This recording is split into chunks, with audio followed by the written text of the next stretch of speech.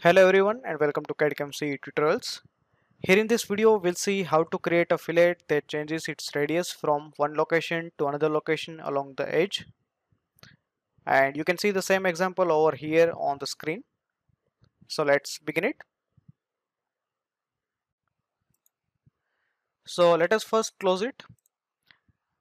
And for example I have created a block which is having dimensions of 150 by 100 by 30 mm and on this long edge of this block we are going to create fillet having the different radiuses. So in order to create a fillet we can select here fillet and you can see different types of fillets options are available. So first one is the constant size fillet that we usually use in our CAD modeling. And the second option is the variable size fillet that we'll use in this video. So after selecting the type of the fillet that we want to create the next step is to select the edge where we want to apply this fillet.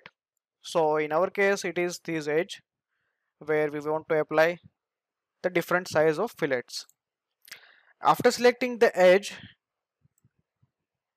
the next thing is that we need to know at which location we want to assign the different size of fillets so that means we have to first identify the locations where the size of fillet will get changed. So here we can see by default it has given two points along with three points in between. So we can click on these points and it will pop up this boxes. So ultimately we are having five points where we can assign the different radius and it will create a variable size fillet along the length of this edge. If we want to increase the number of instances or the number of points where the size of fillet will get changed, here we can increase or decrease the number of instances. So after specifying the number of instances where the size of the fillet will get changed, the next thing is that we have to assign particular location along the length of this edge. So by default there will be having two radiuses, one at the start at 0 what? At the end? At the end of the edge in between we can play. We can increase the number of instances and also we can change the location of the point along the length or along the edge. So here we can see this 25% 50% and 75% and it denotes the location along the length of this edge. So 25% is from this point at a distance of 25% of the total length. So for example if we'll change here from 25 to 10 percent it will change the location of the point. And consequently the different radius will be assigned at this location. So I'll make it the default 25% but you can choose any location along the edge.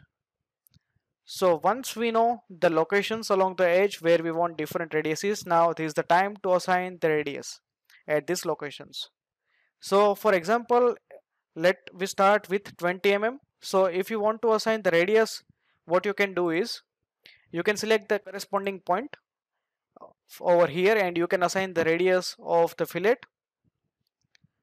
And the second option is that in this box you can assign the radius at that location. So this is the first point and here we can see unassigned. So if I enter here 20 mm it will assign the radius of 20 mm at this point at the second point we want to decrease it to the 5 mm. So near to the symbol R it denotes the radius. And I want to change it from 20 mm to 5 mm. So here we can see the preview.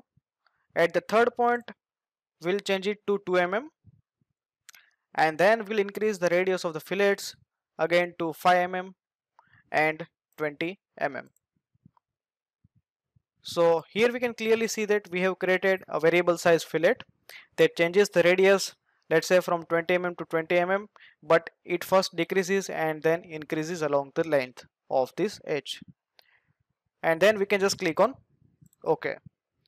So i hope you enjoyed this video. If you like this video then please hit on the like button share it and subscribe to this channel CAD-CAM CAE tutorials. Thanks